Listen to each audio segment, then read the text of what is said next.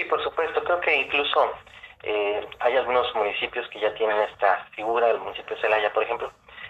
que está un paso atrás en toda esta situación